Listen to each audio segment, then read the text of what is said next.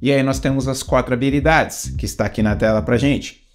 Reading, leitura, listening, que é a escuta, writing, a escrita, speaking, a fala. Como praticar essas quatro habilidades? Interrogação, como diria o, o Avalone. Vamos lá. Vamos primeiro para a habilidade de reading, que é a leitura. Meus queridos learners, é o seguinte. Lembra que eu falei no começo da live que nós temos várias uh, vantagens em relação às pessoas que não aprendiam, que aprenderam inglês ou não aprenderam inglês no passado, 20, 30 anos atrás? Elas não têm a vantagem da internet que nós temos. Se você der dois cliques aí, ou dois toques na tela, você abre uma outra página, uma outra janela e tem acesso a coisas que as pessoas de 20, 30 anos atrás não tinham. Então, quantos sites de notícias em inglês que você pode ter acesso? Quantos livros em inglês você pode ter acesso? Quantos blogs, artigos de um assunto do seu interesse você pode ter acesso? quantos sites são possíveis de você traduzir do português para o inglês para praticar que você pode ter acesso. Então, o reading está mais perto de você do que você imagina.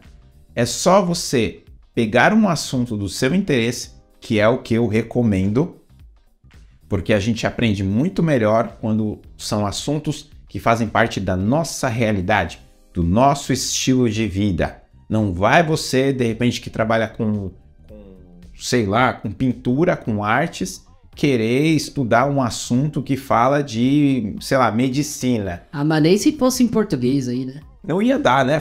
Não, não dá, não dá match, não dá liga. Estuda algo que é relacionado a algo que você gosta, sua área de atuação, por exemplo.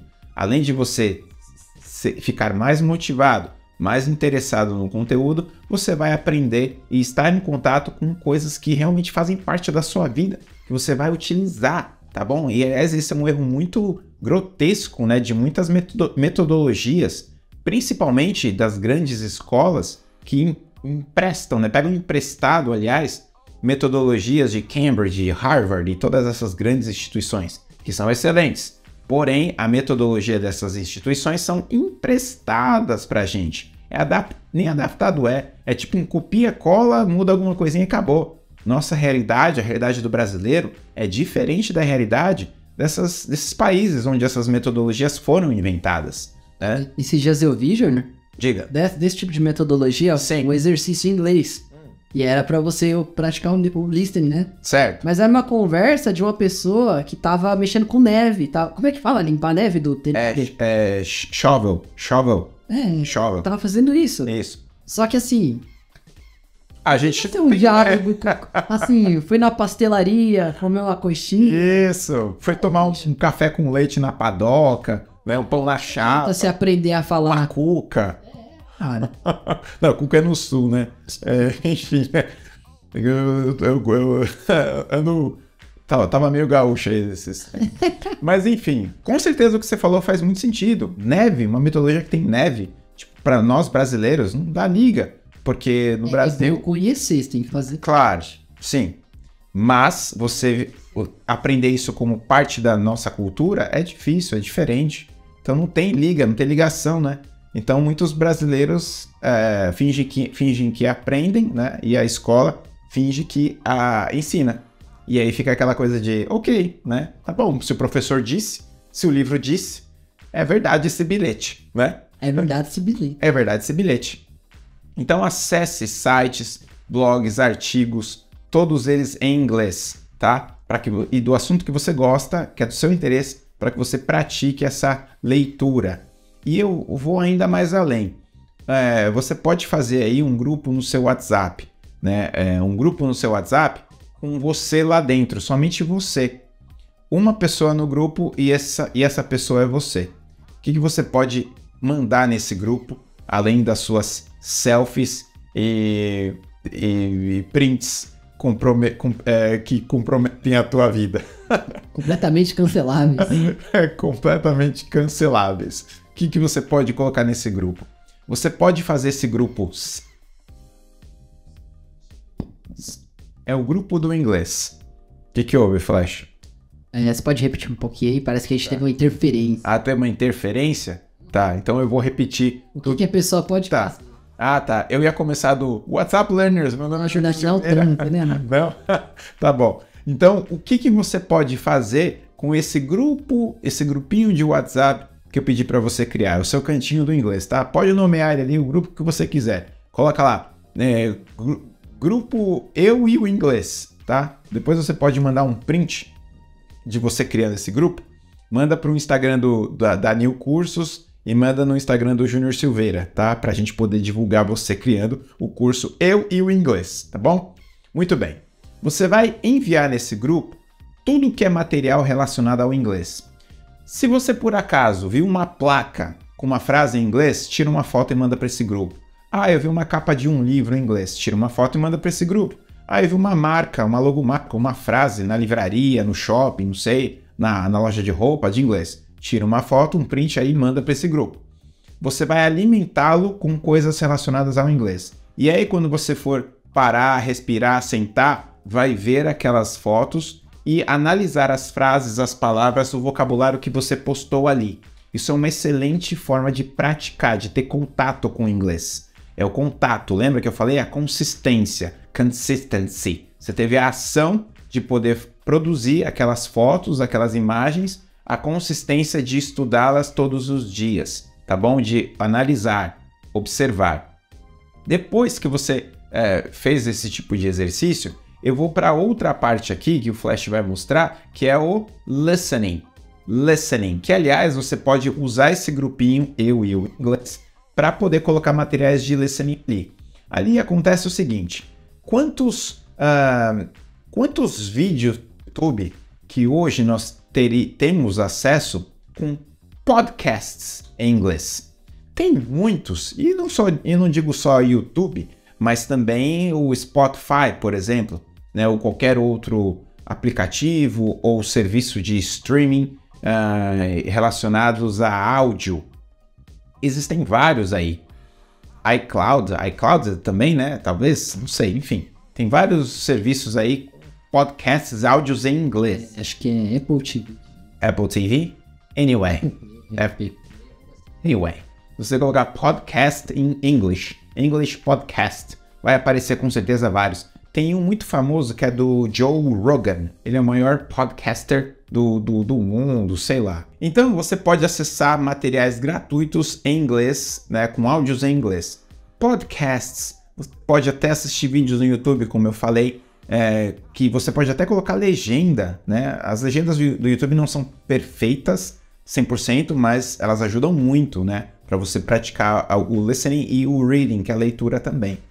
Mas quantos materiais você consegue ter acesso hoje em inglês, com áudio em inglês? Tem muito, gente, muito. E sem falar nas músicas, porque música também é um material riquíssimo para você estudar.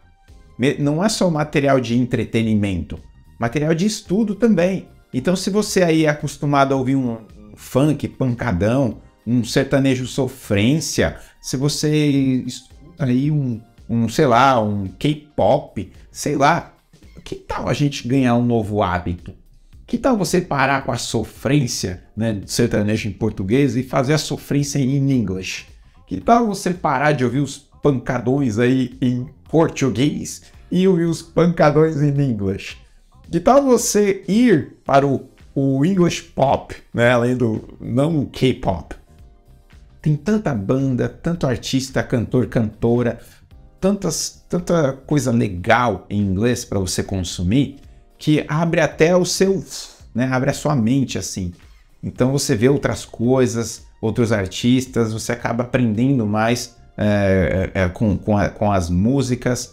Então é, é um hábito né, que você vai construir na hora de aprender inglês. Não é só você comprar um curso, comprar um livro. É, é uma coisa que é construída em volta de tudo isso. É, é a questão do hábito, né, da consistência que eu falei. Que é isso que as escolas não falam para você. E a gente deixa claro desde a primeira aula no nosso curso, no curso de inglês new. O, a- o ambiente, a mudança de mindset, ela tem que ser colocada na cabeça do aluno que vai aprender. Porque senão não vai, não rola. Né, Flash? Né, Flash? Exatamente. Muito bem, Flash. é que eu vi você é, querendo falar e tal, eu falei, eu fiquei agoniado. Tá bom. Então, é um mindset que tem que ser colocado. Eu tô refletindo, desculpa. Ah, muito bem. É, é porque a gente tá sendo muito profundo aqui, né? São grandes revelações. Junior, pessoas de sucesso olham pro futuro e as pessoas de não sucesso olham no, pro passado. As pessoas que querem ter sucesso têm que olhar pra frente. Pra frente. Não, não- não olhar pra trás e falar, poderia ter feito. É. Aliás, quando você fala assim, ah, eu poderia ter começado inglês antes, ah, por que, que eu não comecei a estudar isso antes? Tá, mas já passou. Aí você vai fazer o quê? Vai se lamentar ou você vai começar a olhar pra frente? É daqui pra frente. Então, é isso aí. Você- o Flash falou isso pra mim uma vez que eu achei muito legal. Eu estou, imagina você num carro sem retrovisor, né? Não tem como olhar pra trás. É daqui pra frente. Então, é, você tá num carro sem retrovisor. Não olha pro passado. Falou uma vez pra mim. Você falou uma vez pra mim, né? E, e eu guardei isso pra mim e eu, pois, tem total razão. Então você que precisa aprender inglês, teve oportunidade antes, mas não aproveitou, já passou, ok. Tem- beleza, passou. É daqui pra frente. Você pode mudar o seu futuro, o passado você não pode. Então mude daqui pra frente, tá? E a oportunidade está aí com você agora, né? No primeiro link na descrição, que é o nosso curso de inglês New Method Act, tá? Pode clicar, deixa aberto ali, depois você faz a, a sua inscrição, mas presta atenção no que eu vou falar aqui, tá bom? Então, o listening é o segundo, é o se- a segunda habilidade das quatro, né, que você ah, treina. E nesse grupinho do eu e o inglês, né, que eu estava mencionando para vocês, coloca lá no seu grupinho de WhatsApp trechos das músicas que você está ouvindo e estudando. Grava você mesmo falando inglês para depois se ouvir. Eu já vou falar nessa questão de, de falar, né? É, porque envolve o speaking, né? A fala também. Mas você pode colocar áudios em inglês, músicas em inglês, tá passando, sei lá, uma reportagem no- na, na BBC, CNN, algum noticiário em inglês, grava aquele trecho ali, grava aquele trecho para você ouvir depois. O WhatsApp é uma ferramenta incrível de estudo também. Não é só para compartilhar pombinha de bom dia, é, sei lá, fotos comprome- que comprometem a sua vida e xingar as pessoas. Não, não tem nada, mandar fake news, né? Não. É um lugar de estudo também, se você aproveita da maneira correta, tá bom? Segunda habilidade é o listening, e aí vamos para a terceira habilidade, que é o writing. Writing é a escrita. Quando você pratica o writing, aliás, isso é uma coisa que muita gente deixou de fazer em português. Pesquisas mostram, eu não sei dizer para vocês exatamente a fonte, tá? Mas são pesquisas americanas. Mostram que, é, eu vi um estudo uma vez dentro dessas pesquisas separaram dois grupos de alunos que assistiram uma determinada palestra e pediram para que eles fizessem as anotações, um grupo, no caderno com papel e caneta, né? Ali, ó, caderno, ali, ó, no estilo clássico, e um outro grupo fez old school. E o outro grupo, eles fizeram anotações ah, num bloco de notas no celular ou no computador. Depois que cada grupo tomou nota, fizeram um comparativo no final, fizeram as perguntas sobre a palestra e qual é o grupo que mais reteve informação sobre aquele conteúdo? O grupo que fez as anotações com papel e caneta. Isso porque nós digitamos muito mais rápido do que escrevemos. Algumas pessoas, né? Alguma, que nem eu, eu digito catando milho, assim, ó. Parece que eu tô catando milho, o Flash. O Flash já digita sem olhar. Ah, mas é porque eu uso bastante, né? É, Flash ele é rápido, é Flash mesmo. Então eu, por exemplo, já digito mais devagar. Mas as pessoas, com- é, no, no modo geral, elas digitam de uma maneira mais rápida do que escrevem. E quando você está escrevendo, o seu cérebro trabalha muito mais é, partes dele.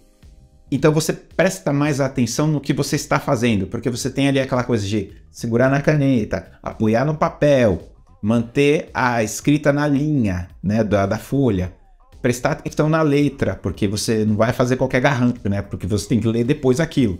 Então você vai prestar atenção no formato da, da sua caligrafia. Você está prestando atenção ali na informação, retendo ela. Então, olha só quantas coisas você está trabalhando ao mesmo tempo. Você tem mais atenção, logo você retém mais o conteúdo. Então, eu recomendo né, que na hora que você fazer o, o- o writing, na hora que você praticar essa habilidade, que você pratique com papel e caneta. mas nem sempre é possível, porque nós estamos mais com o celular na mão do que o papel e uma caneta, né? É mais fácil você ter um, um celular e o grupinho, eu e o inglês no WhatsApp para você mandar para si mesmo textos em inglês, tá? Nada impede de você depois chegar em casa, pegar o seu caderno de anotações no inglês e transcrever tudo aquilo que você passou o dia escrevendo ou, ou estudando. Você pode fazer essa transcrição e deve né, no seu caderninho do, do inglês. Isso é muito importante. Mas, quando não der, faça essa transcrição aí no seu grupinho de WhatsApp. Ah, você vai. Você viu uma frase, tirou a foto dela? Beleza. Que tal você escrever aquela frase que estava lá na foto? Que tal você praticar a habilidade da escrita, mesmo que seja ali no, no, no WhatsApp, no teclado ali? Por quê? Quando você vê uma palavra, uma frase e escreve é, essa palavra e frase, você está é, é, você tá praticando ali a sua escrita. Óbvio. Mas você se familiariza ali também com as palavras. E o interessante é que muitas palavras em inglês elas têm significados diferentes. É, é, é, aliás, a mesma palavra em uma mesma palavra em inglês pode ter significados diferentes, variadíssimos, como a palavra get, por exemplo. A palavra get tem milhões de significados, com expressões ainda, passa aí de né, vários e vários. Então você fica com aquela, você pega aquela manha, aquele traquejo de, opa, essa palavra aqui eu sei, eu conheço, mas eu não sei a tradução que ela tem nessa frase mas eu sei que eu tenho que analisar o contexto, que depende do que vem antes ou depois para eu entender o que significa essa palavra. É a malandragem essa daí, né? Percebeu? É a malandragem. Você tem ali aquele traquejo, você não vai seco falando assim, aquela palavra significa tal coisa. E aí você, ué, nada a ver. Não, você já tem um passo atrás. Opa! Então é isso que muitos alunos das outras escolas não, não têm.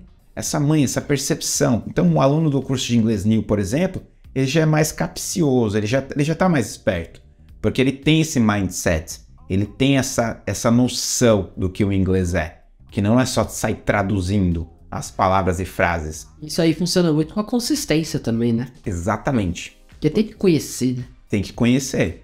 E você conhece algo como consistency, consistency, consistency. E aí vem o training, training, training, training. Consistência com o treino e com essa mentalidade você consegue ter essa noção do que, que o inglês realmente é. E aí você para de traduzir ao pé da letra, você para de, de, de achar que aquela palavra só tem aquele significado e pronto, não é? Então, o, o writing, ele te ajuda muito nessas questões, tá? Terceira habilidade é a escrita, é o writing, e a quarta habilidade, que aí é que todo mundo quer, né? Todo mundo quer, que é o speaking. O pessoal tem preguiça de praticar. O pessoal tem preguiça de praticar medo. Eu venho para falar verduras. Inclusive, nós, né, Flash, quando estávamos aprendendo inglês, nós tínhamos um, até um certo receio, né, de, de falar. Eu não falo medo, receio. Nós éramos receosos. Se eu te falar como eu pratico meu speaking hoje, você vai dar risada. Ixi. Na método flashinho. Isso. É o método flashinho? Como que você pratica o seu speaking hoje, Flash? Eu tô tipo no elevador, sabe aquela televisãozinha? Sei. Eu leio em português que tá ali e eu falo, tá, vou traduzir de cabeça, agora eu vou fazer no speaking. Tá. Aí eu vejo, olha o anúncio do shopping, restaurante. É, venha nos conhecer e tal. Aí eu começo a falar em voz alta no elevador. Aham. Eu espero que não tenha microfone, né? Mas eu faço do, todo dia. Não posso pegar um elevador sozinho que eu dou de doido e começo a ficar falando. Tudo bem. É inglês também, né? Você tra tipo, traduz também o Exato. que tá lá no, no anúncio né, do elevador, né? É, já tô, já tô praticando dois em um. Você sabe que eu fazia muito isso também. Eu ficava vendo os anúncios dos elevadores e traduzindo. Tipo, ou então, às vezes eu tava numa reunião, e aí, sabe quando a reunião tá chata e você, tipo, ah, começa a viajar? Eu começava a traduzir mentalmente o que a pessoa tava me falando. Como que seria se a pessoa estivesse falando inglês assim comigo? Aí eu começava a traduzir. É lou- loucura, né? Pensando como é que estaria escrito se fosse em inglês, aí eu falo. Ah, sim. Interessante. Ah, ninguém tá vendo, eu preciso, preciso ter vergonha. É? E mesmo se tivesse. E de qualquer maneira. Eu ia parecer doido, né? Falando inglês. É, realmente. Mas de qualquer forma, é uma maneira de contato com o idioma, mesmo que seja de uma maneira louca, meio lúdica, mas é uma forma de contato. E são é, coisas, manias talvez, que uma pessoa que fala inglês uh, tem e consegue fazer, que é o que a gente quer para você, né? que você seja um, um, um, louco do inglês no bom sentido. E que o, o que muita gente não fala para você é que o speaking, né, a, a fala, ela é uma das últimas habilidades que você vai performar com muita segurança, né? Com muita segurança. Eu não estou falando que você é, vai, vai ser a última habilidade que você vai dominar. Não, você já. No nosso método, inclusive, nós praticamos as quatro habilidades em cada única aula. Em cada única aula você pratica as quatro habilidades: o, o escrever, ler, ouvir e falar. Mas você vai falar assim: nossa, é, eu, eu tô seguro mesmo para falar depois que você passa por, pelo processo das três habilidades.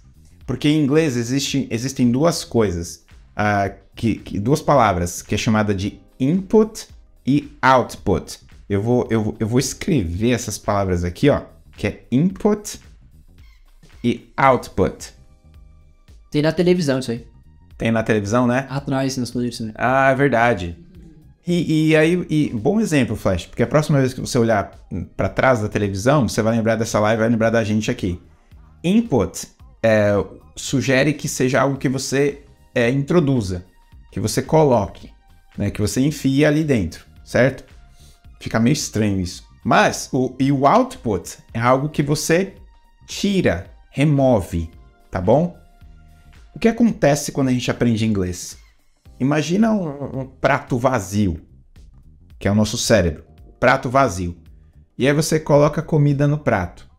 Você está colocando ali, está introduzindo, né? Introduzindo não, colocando, né? A comida está para o prato como o inglês está para o nosso cérebro. E quando você faz a retirada da comida do prato, quando você come, você está retirando. Então você está fazendo um output, tá? Que seria o quê? Quando você fala inglês, você está retirando o conhecimento que você colocou no seu, no seu cérebro tá? Então, quando você faz input, você está colocando inglês para dentro. Como que você faz isso? Quando você está passivo e recebendo as informações. Quando você ouve inglês, você está absorvendo aquilo ali. Quando você lê em inglês, você está absorvendo aqueles textos, aquelas frases, as palavras. Quando você lê, é, é, aliás, você lê e você ouve. Tudo isso faz parte do input. Quando você faz output no inglês, quando é que você joga para fora? Quando você escreve em inglês, porque você está tirando, né, o seu conhecimento, tudo que você colocou, agora você está tirando. Na, na, verdade, ele não sai, ele fica, né? Sim, ele fica. É como se fosse uma máquina de xerox, né? O original fica lá. O, a original fica lá e você vai copiando, vai fazendo a, a, a cópia, a impressão na folha, na palavra, no celular, digitando, enfim. Aí você está fazendo um output. E que mais? Quando você fala inglês, você está performando, jogando para fora aquele conhecimento que uma vez você colocou para dentro. Então você faz input, que é o que a gente está tá vendo aqui, ó. Você faz o input quando você ouve e quando você é, é, é, lê em inglês, e o output quando você fala e quando você escreve. Então, para ter é, o output, você precisa do input. Para falar, você precisa primeiro receber o conhecimento. Não adianta eu falar agora para você, ó, pessoal que está me assistindo, nós temos aí mais de 100 pessoas assistindo a gente agora. Deixa o like e deixa a inscrição aí, pessoal. Obrigado aí pela audiência de vocês, viu? Obrigado mesmo. Olha o comentário da Dani aqui, ó. É. Too lazy to write é. and afraid to speak. Too lazy to write and afraid to speak. Ó. Oh. Ok. ok, Dani. Thanks for your comment. Mas, mas, é a realidade da maioria dos alunos, né? É, é verdade. Mas aí tem que ter a consistência. Tem que ter a consistência. Então é o seguinte, é, vocês que estão me assistindo aqui, uh, já, já pensaram nisso antes? Já pensaram que para falar você precisa primeiro absorver tudo isso? Para ter o output, você precisa ter um input primeiro?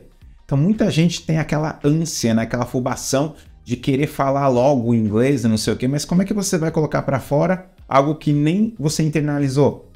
É a mesma coisa que eu faço para todos vocês aqui, pessoal, vocês todos que estão me assistindo.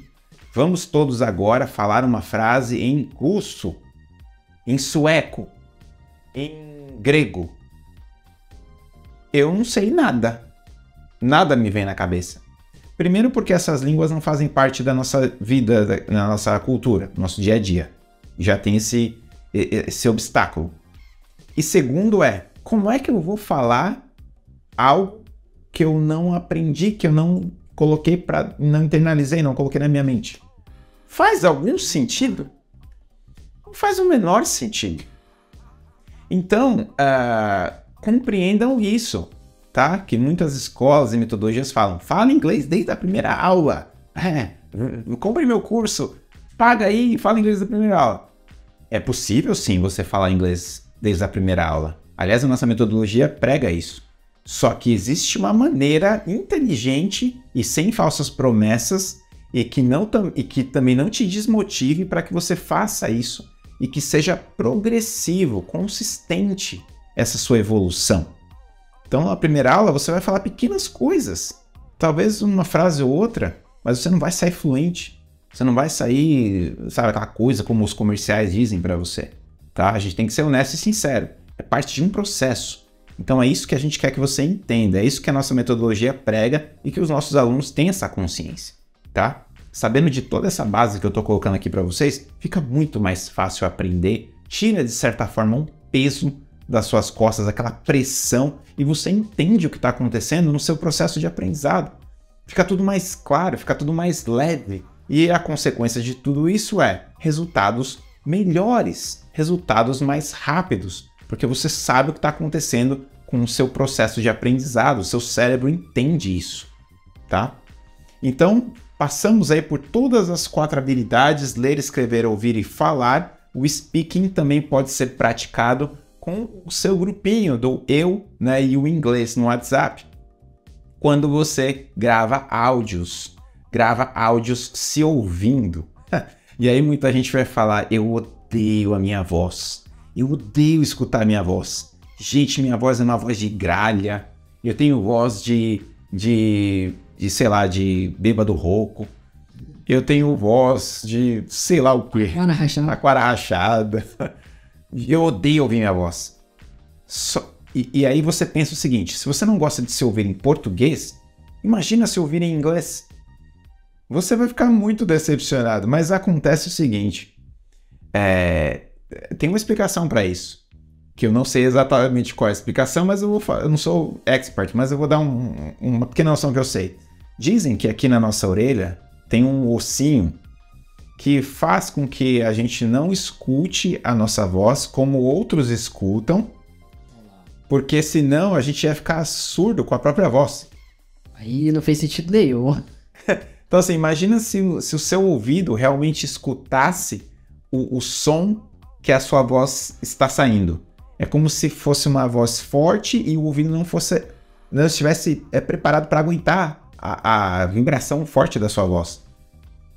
Entendeu mais ou menos, Flash? Eu conheço outra explicação mais básica. É como se fosse uma proteção para você, para o seu próprio ouvido não ficar é, surdo com a tua própria voz. A gente ouve pelos ossos também, né? Pelo é, reverbera, reverberação, né? É, pelo, pelo, pelo, pelo chacoalho dos ossos. Isso, isso. E pelo microfone, que é o tímpano. Certo. Agora, quando outra pessoa fala, a gente não ouve a vibração dos, dos ossos, então é tipo... É diferente. Então, a voz... A minha... Eu sabia da proteção. É, tem tipo uma proteção.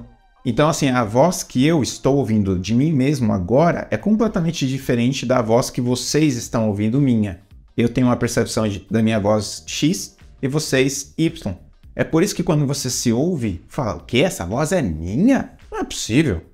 E também quando você se vê em vídeo, né? Você fala, pô, aquele cara sou eu, aquela pessoa sou eu. Olha eu de costas, que horrível. Olha eu de, de perfil, que horrível. Mas eu me olhei no espelho, eu tava bonito. Por que, que essa foto agora tá horrível? Claro que tem uma questão de luz, ângulo, aquela coisa toda. Mas nós temos uma percepção diferente também da nossa imagem.